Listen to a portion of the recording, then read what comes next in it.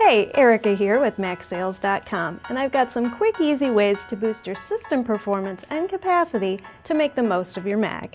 As your drives fill with data, update to the latest OS, or just demand more from your current system, often you'll notice system performance can start to feel a little sluggish. MacSales.com makes it easy to boost your system with two common DIY upgrades. First, let's take a look at memory. Upgrading the memory in your computer is a cost-effective overall performance boost to your system.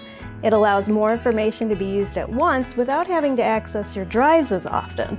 MacSales.com makes it easy to find the correct memory for your specific system. And because OWC memory is custom made for Mac and rigorously lab tested, your system may even support more memory than factory rated.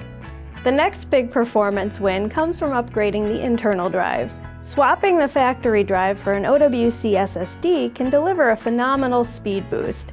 System startup, app launch, and other processes happen in moments rather than minutes. The difference can be truly amazing. Thankfully, MacSales.com makes it easy to find exactly the right drive for your system, your needs, and your budget.